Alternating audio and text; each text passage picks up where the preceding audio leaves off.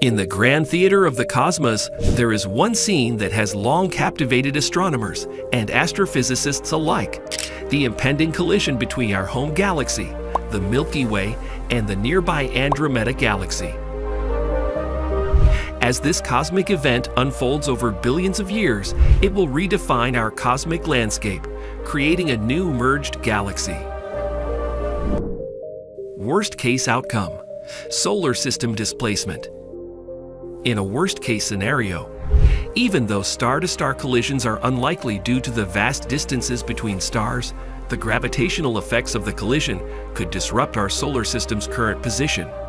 The most extreme possibility is that our solar system could be ejected from the Milky Way or the new merged galaxy altogether, sent hurtling into intergalactic space. However, it's important to remember that the likelihood of this happening is extremely low, and even if it did occur, it would be billions of years from now. Setting the stage. To set the stage, we need to understand the two primary actors. The Milky Way, our home galaxy, is a barred spiral galaxy measuring about 100,000 light years across, housing an estimated 100 billion stars. Andromeda, on the other hand, is a bit larger at about 110,000 light years in diameter, with around 1 trillion stars. It is roughly 2.5 million light years away from us. An important point to note here is that galaxies are mostly empty space. In Welcome to the Universe, an astrophysical tour, renowned physicist Neil deGrasse Tyson explains that if you scale down the universe so that the sun is the size of a white blood cell, the Milky Way would be the size of the United States. This points to the sparseness of matter within galaxies. The Dance of Giants the Andromeda Galaxy is currently barreling toward the Milky Way at a rate of about 110 kilometers per second, as confirmed by the Hubble Space Telescope. If the laws of motion, as defined by Sir Isaac Newton, continue to hold in the vast emptiness of space, then the two galaxies are inevitably set to collide. According to a study published in the Astrophysical Journal, the collision will likely occur in about 4.5 billion years. The gravity of each galaxy will distort the other, causing them to twist and warp. The two galaxies will swing past each other, break apart, and then merge, a process that will take around 1 to 2 billion years to complete. Consequences of the collision. Now to the pertinent question. What does this mean for our solar system and for life on Earth? Contrary to what one might think, the prospects aren't all doom and gloom. As stated earlier, galaxies are mostly empty space.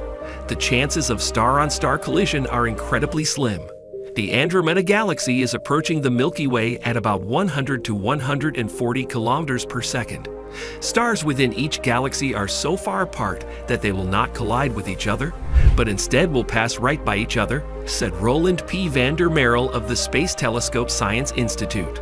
What's more, the Sun and the Earth are located on the outskirts of the Milky Way, and by the time the collision happens, the Sun will be nearing the end of its life, transitioning into a red giant and potentially engulfing Earth in the process.